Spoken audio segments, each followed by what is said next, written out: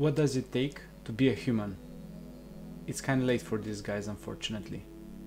Well, I guess I just need to dispose of them, right? Hmm, they might be more than I expected. Hi, I'm Adrian and welcome to a new devlog update.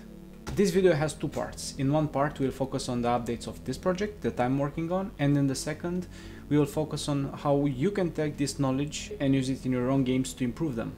As you saw in my previous video, I have started the devlog. If you haven't seen it yet, you can check this link that appears right now on the screen to see the first part of my devlog. It is a simple shooting game where I focus on the fun part, in particular.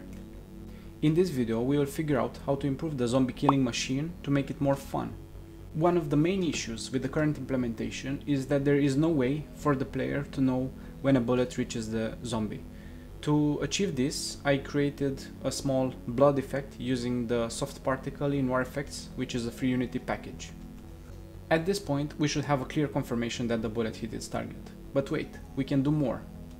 Instead of using the same repetitive animation that the zombie has when it dies, we can use instead a custom-made ragdoll, which will allow us to experience a different death animation each time a zombie is killed. To add more meaning to the impact of the projectile, what we can do is add a force to the ragdoll in the opposite way of the projectile, so that the player feels the power of the shot. Of course, if we add a little random into the mix, then we will get a nice overall game feel.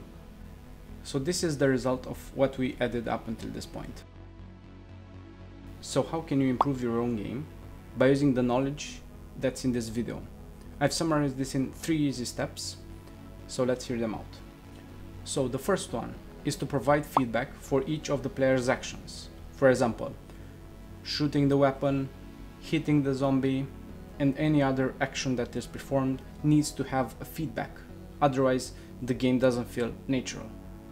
Provide randomness. In real life, if you throw a ball, it won't land in the same position twice.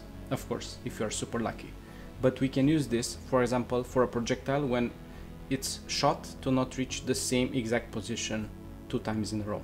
And the last but not least is provide smoothness in every possible action because nobody really likes choppy movements.